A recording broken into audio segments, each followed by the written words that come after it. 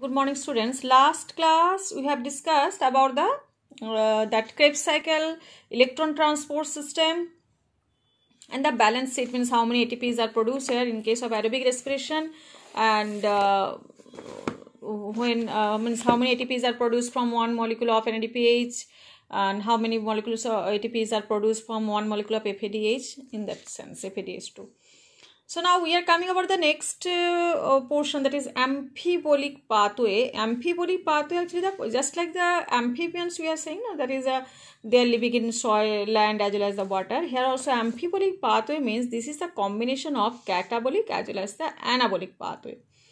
Okay. So what are actually catabolic pathway and what are actually anabolic pathway we are discussing now. So catabolic means which is breakdown. Suppose the respiratory substance means glucose is breaking down.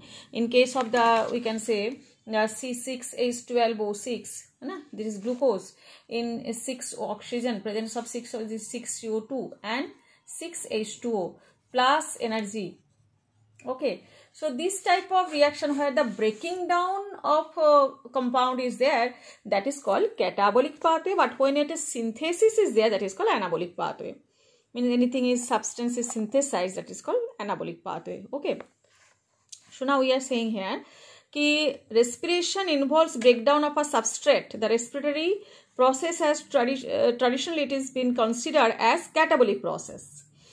तो now why this we are saying about anabolic condition catabolic तो है तो anabolic कैसे हो रहे ना at which points of this respiratory pathway different substrate would enter if they are to be respired and used to derive energy what is important to recognize is that it is these very compounds that would be withdrawn from the respiratory pathway for the synthesis of the said substrate तो ये देखो कि different substrate entire भी करेगा and they are break broken down also when we need the energy when cell needs the energy but any time when it is required to synthesis or synthesize that substance that would be withdrawn जैसे कि example आपको बोल रहे हैं कि fatty acid would be broken down into acetyl CoA before entering the respiratory pathway है ना that will show now when it is used as a substrate. But when the organism needs to synthesize fatty acid,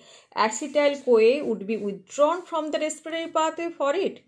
Hence, the respiratory pathway comes for the picture both during breakdown and synthesis of the fatty acid. मतलब breakdown मतलब catabolic भी हो रहे synthesis का मतलब anabolic भी हो रहे तो similarly during breakdown and synthesis of the protein 2 respiratory intermediate from the link Breaking down process within the living organism is catabolism and synthesis is anabolism. Now, this is the line because the respiratory pathway is involved in both anabolism and catabolism. It would hence to better consider the respiratory pathway as an amphibolic pathway rather than catabolic one. Now, I am coming to the point here. Look at it. First, I just I am writing here carbohydrates. Carbohydrates. First, they are simple sugar that is called the glucose. And this glucose is converted into which one? Glucose 6 phosphate. I am just writing the glycolysis pathway. Glucose 6 phosphate. Then glucose 6 phosphate to fructose 1 6 diphosphate. And fructose here so many steps are there not only one step. So i'm just uh, simply i'm writing that one. Fructose 1 6 diphosphate या diphosphate बोल सकते हो या बीस phosphate बोल सकते हो। बाईस मतलब वही है, डाई और बीस दोनों सेम है। बाईस फॉस्फेट ओके फॉस्फेट फिटी next one you are coming this fructose one six diphosphate या bisphosphate they are converted in to which one ना आइदर डाईहाइड्रोक्सी एसिटोन फॉस्फेट जिसको डी बोलते हैं डाईहाइड्रोक्सी एसिटोन फॉस्फेट है ना? and that is interconvertible है ना they are interconvertible with glyceraldehyde 3 phosphate glyceraldehyde 3 phosphate but this glyceraldehyde 3 phosphate is now converted into so many step to किस में आ जाता है pyruvic acid that is glycolysis pyruvic acid okay So ये हो गया pyruvic acid. Pyruvic acid is now converted into which one acetyl CoA, है ना? That now we are entering with one which one acetyl CoA के through हम कहाँ पे enter हो जाएगा? हो जाएँगे ना क्रेब्स साइकिल में। विच साइकिल क्रेब्स साइकिल जिसको हम लोग टीसीए साइकिल भी बोलते हैं, है ना? तो now it is coming about the citric acid cycle also CO two also is released and water is also released. So, this is all our catabolic process because breaking down. Break down तो हो ही रहे। Now ये तो carbohydrate की बात है। If we are taking the fat so fat is actually fat is actually dissociating to which one fatty acid and which one glycerol fat जो है that is consisting of which one fatty acid and glycerol अभी this fatty acid and glycerol is now converted suppose मान लो we need to derive the energy. Your cell needs to derive the energy. So fat is there, carbohydrate malno nahi hai. Yeah, carbohydrate is also going on, fat is also coming in excess. So that fat is now converted into which one? Now acetyl CoA and then it is entering to the which one?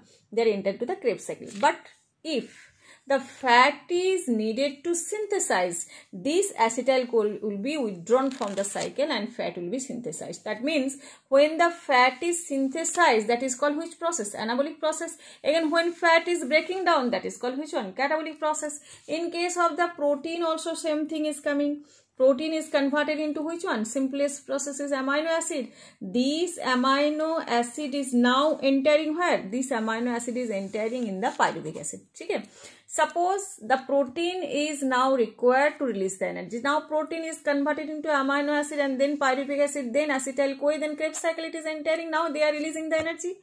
And the cell need, uh, gets the energy. But suppose if it is required to synthesize the protein so at that condition, what is just reverse process will be going on. Now this pyruvic acid is withdrawn from the uh, this cycle and they are actually converted into which one? Protein. So that is called again which process? Anabolic process.